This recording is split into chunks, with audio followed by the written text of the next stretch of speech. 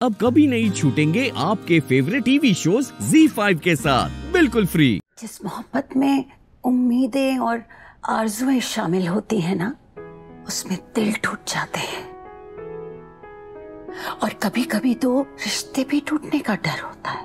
मगर एक तरफा मोहब्बत, एक तरफा मोहब्बत तो लुटाने का, किसी के लिए खुद लुट जाने का नाम है बेटा।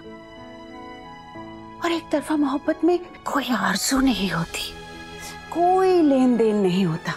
आफ्ताब को देखा है ना, कैसे वो सुबह से शाम तक अपना नूर हर तरफ़ बरसाता है। मगर दुनिया या दुनिया वालों से कभी भी किसी चीज़ की उम्मीद नहीं रखता।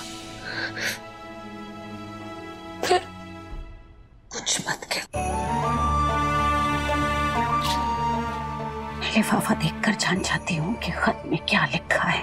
मैंने इस बात पर गौर किया है कि तू और सुभान जब एक साथ होते हो ना तो समा सुहाना हो जाता है। तुम दोनों के जोड़े में अगर अगर मुझे जरा सी भी खामी या खराबी नज़र आती ना तो इबू यकीन मान, मैं खुद ये शादी नहीं होने देती।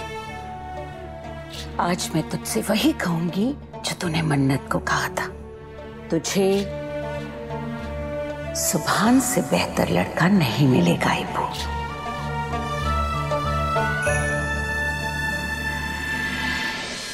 इबू, प्यार और खुलूस में वो ताकत होती है जो नफरत को भी मोहब्बत में तब्दील कर देता है।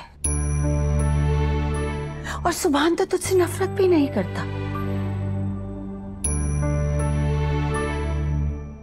उसका बस दिल टूटा है। दिल टूटा है? एक बहन की वजह से। तो दूसरी बहन का फ़र्ज़ है उस टूटे दिल को जोड़ना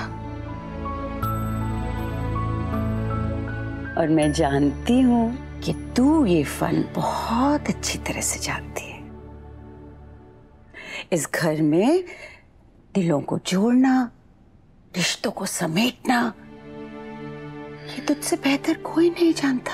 अरे अम्मी सुभान ने खुद कहा है, कई बार कहा है कि वो मुझसे नफरत करता है। वो तो उसके अल्फाजों को नहीं, उसकी आँखों को देख।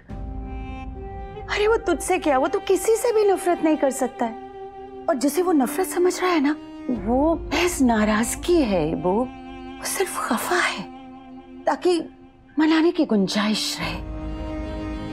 वरना वो तो सीधे सीधे ये भी कह सकता था ना कि उसे उसे तुझसे कोई शिकायत नहीं है।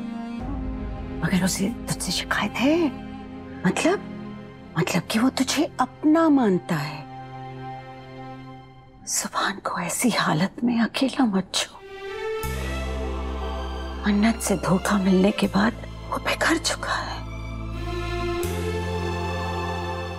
उसे समेट ले।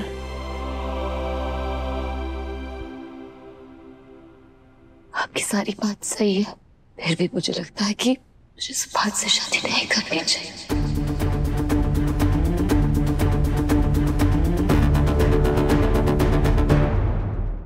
Z5 ऐप डाउनलोड करें और देखें सारे एपिसोड्स बिल्कुल फ्री